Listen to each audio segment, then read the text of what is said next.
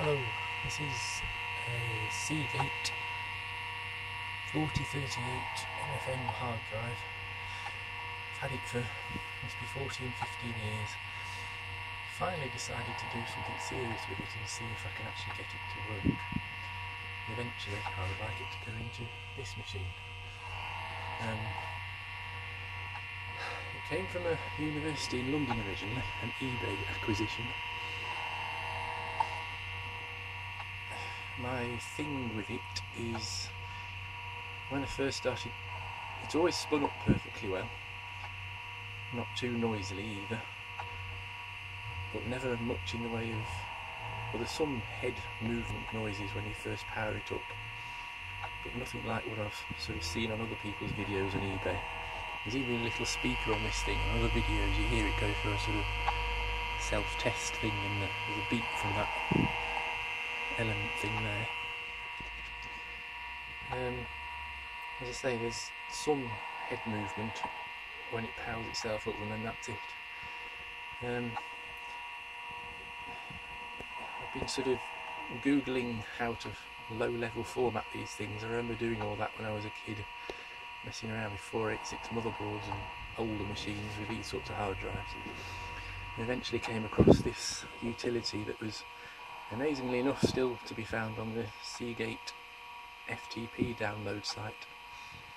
Um, it gives you the well, it gives you the option to select from the two possible drives, zero and one. It only finds something if you enter a drive type in the BIOS of the, of the motherboard of, a, of this machine. This is an old Pentium 100 machine. So I've put type 22 in its settings and, um, and I've disabled all the IDE options. That's an Adaptec. Uh, I've forgotten the model number. Is it AS1003 and some other letters after? Seems to be able to control floppy drive perfectly well. Uh, try that with it and that. It's working perfectly fine with floppies.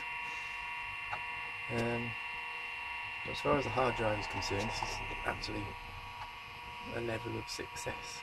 When I first started doing this, I don't know if you can hear,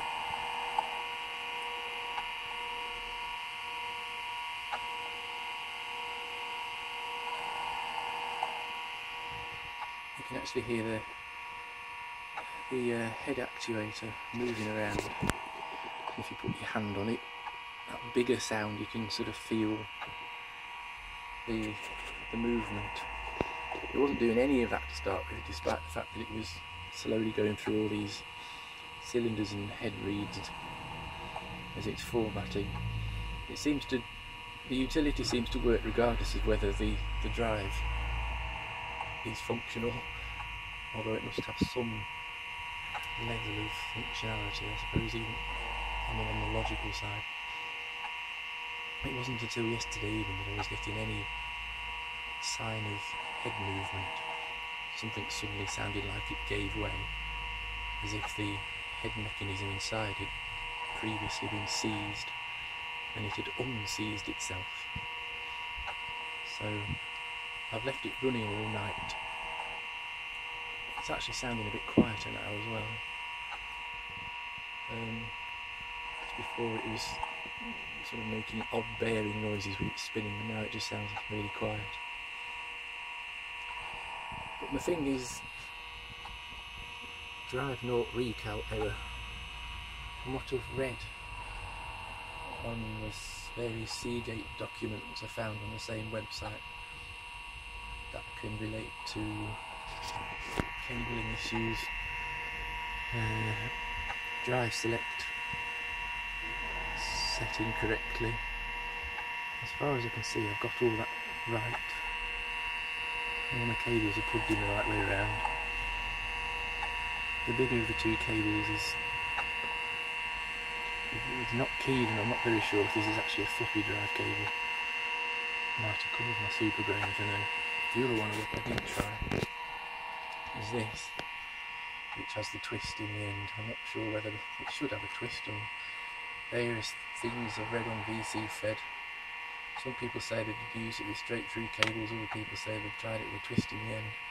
I always thought the drive select was done with jumpers and not with twisting with devices this age.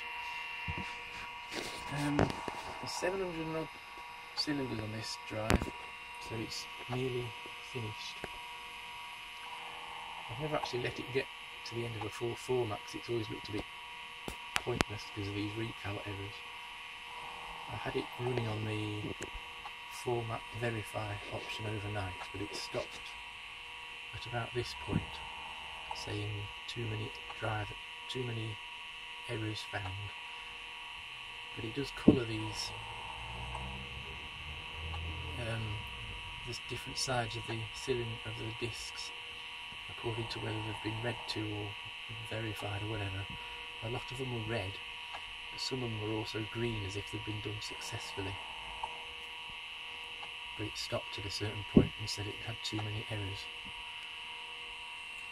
I don't know whether this is this drive is just completely too old, too crusty. The actual read-write surface is beyond redemption, or whether it's slowly waking up and we've got the head, head load mechanism is working now, and maybe if I send it through a few format cycles, perhaps it might get somewhere. But I've always had this persistent drive naught recal error. So if anybody has any suggestions, is it binnable? Is it redeemable? Is there something else I can try? Please let me know. Thank you.